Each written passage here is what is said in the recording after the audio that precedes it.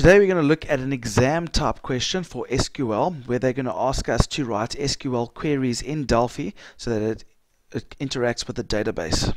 The database that we've got is basically a newspaper database and it is uh, has two main tables. The first table is a clients table and that has details of any clients who want to put um, adverts into the classified section. So these are the details of our clients, their name, their telephone number and suburb. The other table that we've got is an adverts table, which will have information about the adverts that the clients put in. So we'll know what, if they've paid for it, the date it was placed, how many weeks it must run for, and so on. You'll notice here there's a client ID in this table, and this is the link between this table and the client table. So although we don't have the client name and their details here, we can access that because of the link between the two tables. This is a foreign key inside the adverts table. So let's look at question one. We must display the clients, so they must display in the display clients button, we must display all the fields, so that's every single one of the clients table sorted alphabetically according to the name of the client. So it must be sorted according to these names. So that's quite a nice easy one to start with. So let's go to our program. Here is our program. Here's our interface. I'm going to double click on the all clients button and let's write the code there. They've written most of it for us. All we have to do is add in the SQL. So we start with a simple select statement. Because they specified all the fields, we just the easiest way to do that is just to put select star. And then we need to specify from which table are we getting that. And they mentioned that it's from the clients TB. Remember that you must, whenever you're referring to tables or fields in the database, you must spell it as it is in that database or the field name. So that's the name of the field.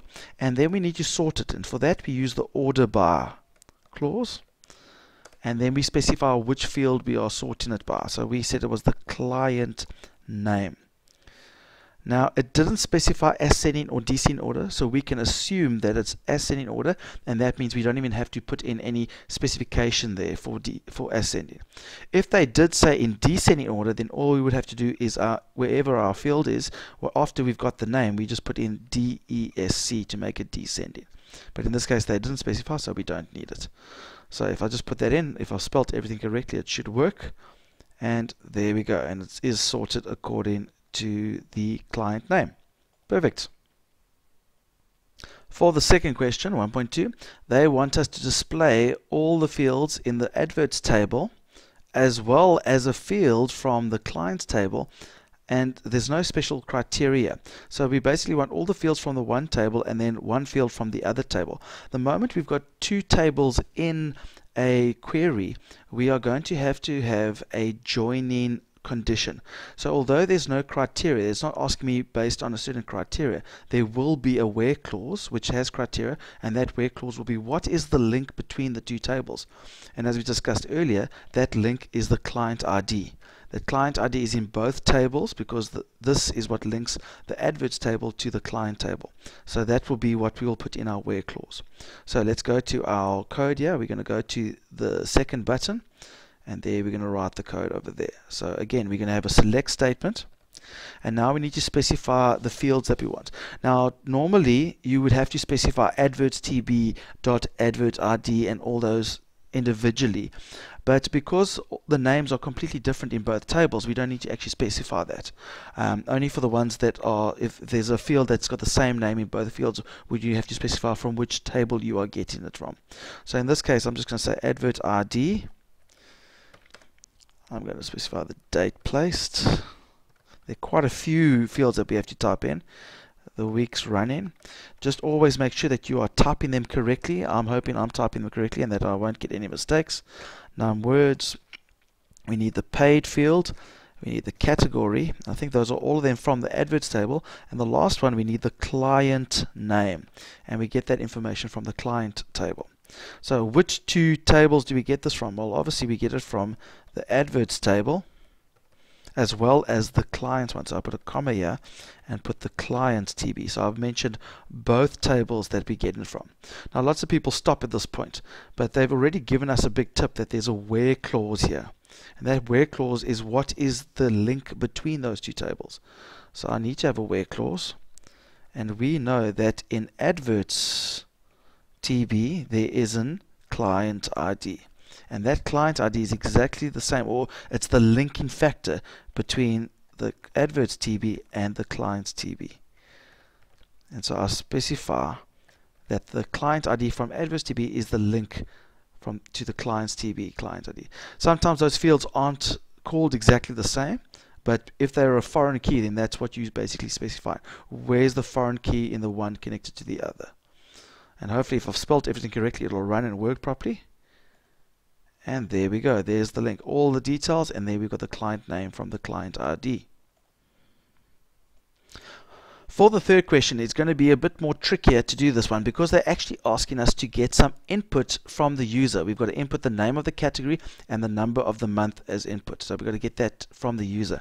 And based on that information from the user, then we will formulate our SQL. So we're just displaying those three things, but we've got to display it based on what category they specified and which month they mentioned. Okay, so that's what we're basically looking for. So First thing we have to do is get the input. So if I go to my code, there's my third button. And yeah, it's a big tip. We've seen variables that are declared for us. We've got code to add here as well as there. That's also a big tip that we're going to need to know, do more than just the SQL statement. So let's first do the, the month num.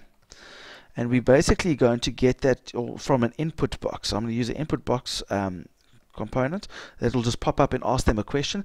There are three strings that are needed for the input box. The first string is like a little title that's put at the top of it. The second string is what is placed like a question that you would place above the edit box. And the third string is what would be in the edit box. So I'm just going to call this month. That's the title of my input box. The second component is what's the question I'm going to ask. So I'm going to say please, because we must be polite, please enter a number of the month. And just to give them some heads up, I'm going to say 1 to 12. It's good to be informative, make sure that people less likely to put in errors. And then the last one is what it will be in the edit box. In this case, I want them to enter the value that they're going to put in there. There's no default value, so I'm rather just going to set it to the null string. Okay, so that's the month or the number of the month. The second one is the category. So we will use an input box again. Now this input box will only be executed once the user has inputted the data in the first input box. So let's say category is our heading. What question could we ask? Let's be polite again. Please enter a category. And then last but not least, we'll put in a null type string. Okay, so there's our two inputs. So let's write our SQL. We're gonna basically, I'm gonna write it basically as if I've got static information for those variables, and then I'll put those variables in last. So we need to select data. So we're going to select what data do we need to select? Well, it's the advert ID, date placed, and weeks running. So let's go do that. So it's the adverts ID, it's the date placed, and the weeks running. I hope you guys are checking my typing to see that I'm typed it all correctly. And we are getting that all from the adverts table. Where now there here's where we get our where clause. Now if the user had specified for example computers then our, all I would have to do is say category which is the name of the field where you get the category that must equal to and I'll put in double quotes computers like that yeah, I probably should put that as a small o. So we use double quotes. And at the same time as well, we must make sure that the number of the month or the month that they specified is the same as the mo month in the date placed. Now the problem is the date placed is a date function. So how do I get the month just from the, the date placed? Well, we can use what's called a month function, which is just month. let's put it in capitals so we can see.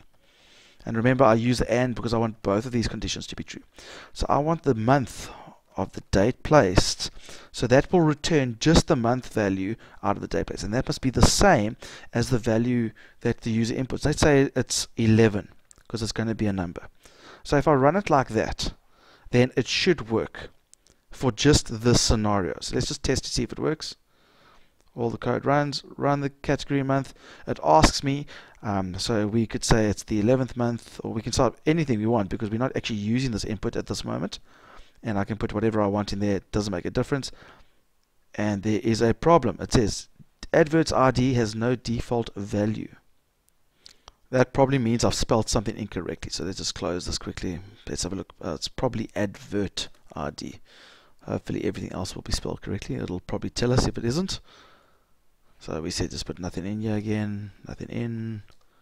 And there we go. So we've got the information going correctly. The only problem is it's not actually using the information that I gave as input. So we're just going to change it now. So now I've just got to change it, but now I've got to insert Delphi code here. Now the easy part is this part at the end here, which is the 11. All I have to do is instead of saying the 11, then I simply add on, as a string, I'm adding on the month num. So whatever's in the the, the month num variable, the one that we specified over there, will then just be added on. So that's easy. This one with computers is a little bit more tricky because we've got these double quotes over here.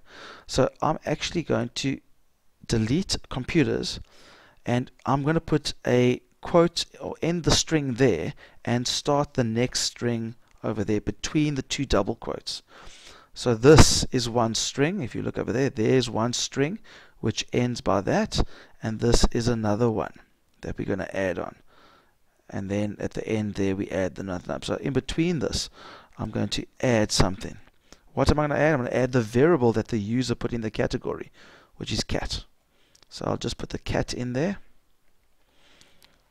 So it'll take whatever's in the category variable, put double quotes around it and insert it basically inside the string and then take the month num and add it on to the end of the string and then execute it. So let's see, hopefully it works. So if I do the exact same, I should get the same results if I type in computers now, or not computers because this is the month, so 11, and if I say computers, and there we go, we get the same data. The advantage now is that when I run this button, I can be more specific with, with what type of information I give the user or give the program.